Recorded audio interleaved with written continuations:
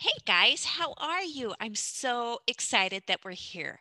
I wanted to talk to you about pumpkins. How many pumpkins do you see? You see that one? One, this little tiny one, two, and this one, it's a big one, three. There are three pumpkins in the picture with me. But I'm actually not here to talk to you about the three pumpkins. I wanted to talk to you about two words heavy and light. Heavy and light are the two words I wanted to talk to you about. The reason I want to talk to you about it is because I'm like, I have two pumpkins and maybe they're heavy and light. Let's see.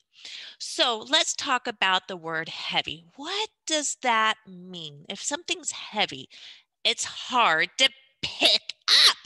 It is so hard to pick up if it's heavy, right? And if it's easy to pick up, it's light, right? So if it's easy to pick up, it's light. So what do you think? Is my little pumpkin easy to pick up or hard to pick up? You don't know?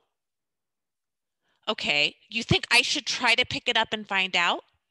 That's an idea. You must have your thinking cap on. What about this big pumpkin? Do you think it's heavy or light?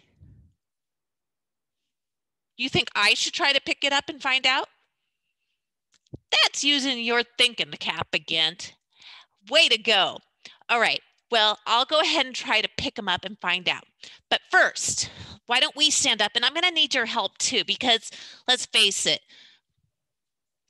I have some muscles, but I'm sure your muscles are bigger than mine. So let's make sure our muscles are ready.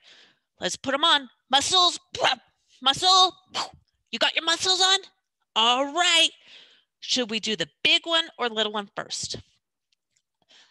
Hmm, let's go ahead and do the big one first. Okay, are you ready? Got those muscles ready? All right. We're going to bend at the knees just in case it is heavy. The big pumpkin, is it heavy or is it light? We don't know. We're going to bend at our knees and find out and pick it up. Pick up the big pumpkin. Here we go.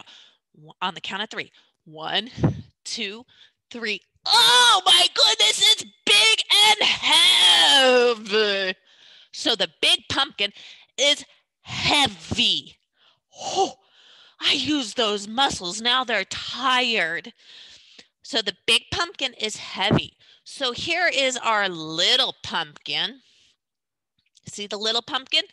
Do you think it's big or heavy or light? Well, just, let's put our muscles on just in case it's heavy. Whoop, whoop. Okay. Whoa. Are you ready? Bend your knees to make sure you can lift it.